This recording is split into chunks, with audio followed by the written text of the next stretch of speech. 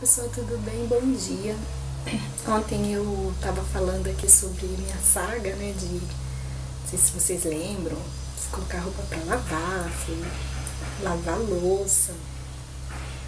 E aí o que, que eu fiz hoje? Meu Deus, eu fui muito desorganizada, porque assim, eu comecei a arrumar meu quarto, só comecei, acho que só arrumei a cama. Aí eu fui pro quarto da minha filha, comecei a arrumar aquele guarda-roupa ficou mais ajeitado, mas ainda não, não terminei.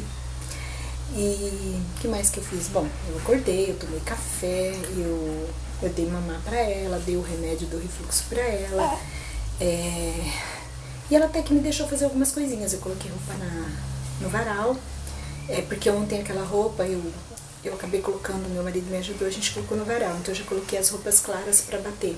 Então bateu à noite e hoje de manhã eu já coloquei no varal. E o que mais que eu fiz? Já dei de mamar pra ela, já...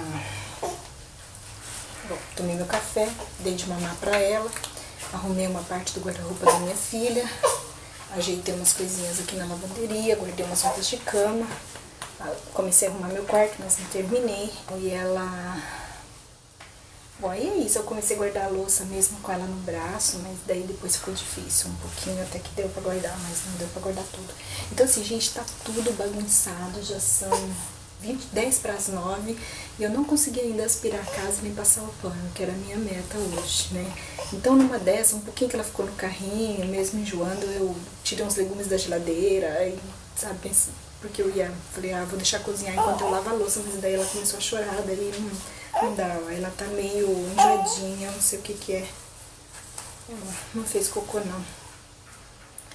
E eu não sei, acho que ela quer dormir. Então eu vou ver se ela dorme. Aí eu falei, bom, então eu vou contar um pouquinho lá, enquanto ela tá mesmo no colo, não dá pra fazer nada. Daí eu vou, ela gosta que balança ela. E né, ela tem que ficar quietinha pra poder... É, ela dormir, né? Até que ela acha um jeitinho pra ela dormir. Ela ficou um pouquinho no berço, um pouquinho no carrinho, mas coisa de 10 minutos, assim, nem isso. Mas foi bom, porque eu já aproveitei e, e deu pra fazer algumas coisinhas, né? Então, assim, eu tô usando uma, a técnica de não deixar ela chorar. Sempre que ela chorar, eu atendo. E, e tá dando certo, porque isso tá dando segurança para ela, né? Ela sabe que quando ela chorar, ela vai ser atendida. Então, isso faz com que ela fique parece que tá dando certo. Faz ela, ela entender que ela pode ficar no berço, ela pode ficar no carrinho. Ela não precisa a hora que eu colocar ela chorar, porque é a hora que ela tá aprendendo, né? Porque é a hora que ela realmente chorar e quiser, eu vou atendê-la. Então eu acho que é isso que é a mensagem que eu estou enviando assim pro íntimo do ser dela. Então acho que tá dando certo, porque ela tá ficando um pouquinho. Ela tá aqui se encolhendo, gente, esticando o corpinho, tô achando que ela tá com cólica. Tadinha. Eu vou cuidar dela. Depois eu volto. Beijos. São nove horas agora. Minha filha dormiu. Eu sempre coloco o cinto nela para evitar acidentes. Esse travesseirinho é para apoiar a cabecinha dela, porque como a gente coloca o travesseiro anti-refluxo, parece que ela fica muito jogada para frente, então às vezes a cabecinha cai. Ela dormiu rapidinho. Ai, graças a Deus. Agora eu vou, eu não sei, eu acho que eu vou limpar o meu quarto, porque ela fica muito aqui. Então tem que estar tá limpinho, né? E esse quarto foi limpo segunda-feira. Tem uma semana que esse quarto não é limpo mesmo. Então eu vou. Segunda? Foi, segunda-feira. Então eu vou dar uma limpada aqui, né? E depois eu volto. Então, gente, agora são 10 horas exatamente. Essa moça já acordou, ela dormiu só uns, 40, uns 50 minutos. E aí, quando ela acordou, ela ficou ainda boazinha no carrinho, deixando no corredor de forma que ela me visse. Então, eu consegui aspirar os três quartos, os dois banheiros, é, a sala, o corredor, e consegui passar pano em dois quartos, no chão dos dois banheiros e no corredor. Aí ficou faltando a sala e o quarto do meu filho, porque ela tava dormindo no quarto do meu filho. Então eu não podia entrar lá para aspirar e passar pano. Mas aí depois que ela acordou, ainda consegui aspirar a sala e o quarto dele. Agora falta passar pano, mas ela acordou, eu não sei se ela quer mamar. E assim, geralmente eu dou um banho nela de manhã, então pode ser que ela esteja sentindo falta desse banho. Então eu não sei o que eu vou fazer, se eu vou dar mamar, se eu vou dar banho, se eu vou dar banho, se eu vou dar mamar. E aí depois eu volto, tá? Aí vamos ver como é que vai ser. Até que rendeu, né? Mas eu tô cansada, porque é tudo, tem que fazer tudo muito rápido, muito rápido. Tudo que você fica pedindo é ai que ela não acorde, que ela não acorde, que ela não... Você quer que acorda depois que tá tudo limpinho, né? Que daí você pode curtir. Ai, mas eu tô suada, que tá um calor danado, que é muito quente. E então assim, dá até dó de dar banho nela e pegar ela assim toda suada. Mas, mas tá bom. É, bom, então é isso, gente, eu já volto. Ai, gente, tô eu aqui de novo. Olha, ela ficou boazinha na cama, mais um tempo, eu coloquei ela lá pra ver qual era dela. E eu consegui passar pano no quarto que faltava, consegui passar pano na sala e ainda passei um paninho na cozinha, assim. A cozinha ficou meia boca, ela tá precisando ser lavada mesmo. Depois do almoço, se der, eu lavo. E outra coisa que eu tinha esquecido de dizer é que antes dela acordar, eu também dei uma boa limpada na minha poltrona de amamentação e no puff de amamentação o puff de pôr o pezinho, né? Então, assim, eu limpei com sapólio e dei uma caprichada, porque aí embaixo, assim, onde a gente encosta o pé, fica meio sujinho. Então, eu limpo tudo com sapólio porque ele é branquinho. Então, limpei isso também, tá? Aí agora, assim, pelo menos o chão tá, tá mais ou menos, né? Eu até consegui aspirar os cantinhos, tudo. Não, também não aspirei só no meio, não. Mas não foi uma faxina. Aí, como eu tinha dito ontem, depois do almoço, tô ajeitando ela aqui na minha perna.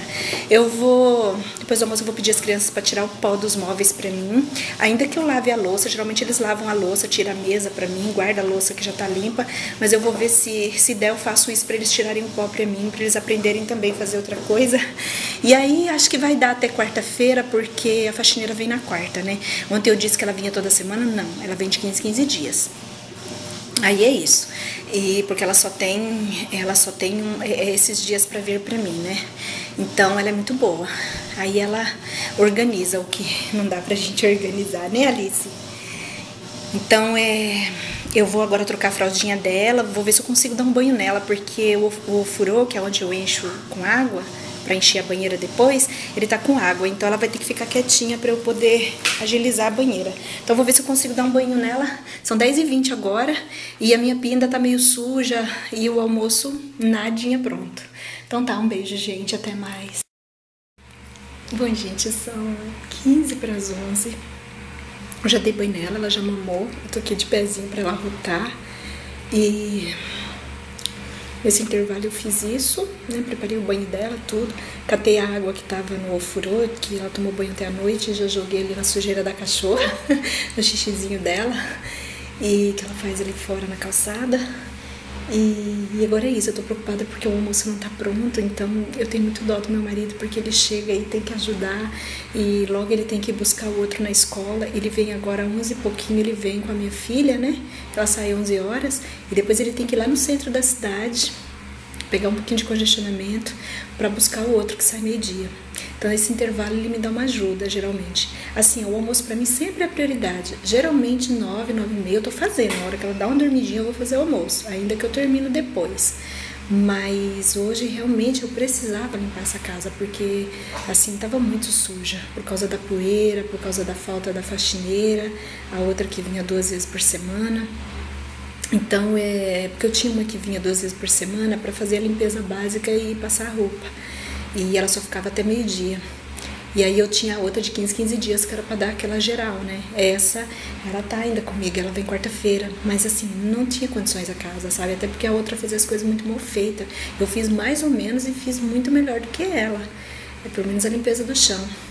Aí agora vai ser difícil porque eu não vou estar aqui para orientar meus filhos para tirar o pó dos móveis. Mas eu vou pôr na cabeça que, assim, tá bom. Por pior que ficar, que fique, vai ser melhor do que o jeito que tá. Porque já tá acumulando pó. Não tem muito pó assim nos móveis, muito, muito. Mas já tá. Hum, tem que limpar, porque senão amanhã vai estar tá uma coisa. Então, e eu tenho médico hoje, né? Eu tenho, é, primeiro eu vou levar ela duas e meia no médico, era só a médica dela, uma gastro, que a gente vai levar uma especialista para ver direitinho essa questão do refluxo né, para ver direitinho. E depois ligaram do médico que eu tenho que ir, que conseguiram, eh, conseguiu um encaixe para mim, e eu vou ter que ir quatro e meia, então eu vou sair do médico e vou no outro, né? E eu vou lá eu, nesse médico. Esse sou eu que vou. Então, assim, à tarde a agenda tá lotada. A agenda tá lotada e eu não vou estar tá aqui para orientar as crianças. Não sei se o pai vai deixar ele sozinho, aqui tá meio perigoso. A gente tem umas coisas assim na casa que a gente não fez, era para ter feito e a gente não fez. Armário, armário no banheiro. A gente queria calçar lá fora pro piso, a gente não fez porque a gente tá um pouco preocupado com a violência e talvez, não sei, até o final do ano, início do ano, se as coisas continuarem assim e se tudo der certo e se a gente puder, a gente vai tentar mudar para um apartamento, porque a gente está meio preocupado de, de ficar em casa. Nossa casa tem muita segurança, a gente tem cachorro, a gente tem cerca elétrica, a gente tem alarme monitorado, mas assim, ainda assim a gente não fica muito tranquilo quando sai. E o nosso maior medo é de, assim, uma tarde que eu tô aqui sozinha com as crianças, é, alguém achar que não tem ninguém em casa e entrar. Então a gente fica preocupado, então não sei. Então a gente não, não quis fazer mais, é, arrumar mais a casa, não. A gente já investiu bastante aqui e a gente não quis fazer algumas coisas porque a gente realmente está pensando em, e talvez, não sei, a gente tem que amadurecer essa ideia, não é nada que a gente decidiu, mas de repente no futuro, que no, né, no futuro não muito longo, de repente mudar para um apartamento. Aí é isso. Então a casa tá assim, não tem armário de banheiro, não tem armário de quarto ainda, mas a gente tá levando assim pra porque senão isso não valoriza a casa e depois a gente vai perder dinheiro. Então é isso, depois eu volto.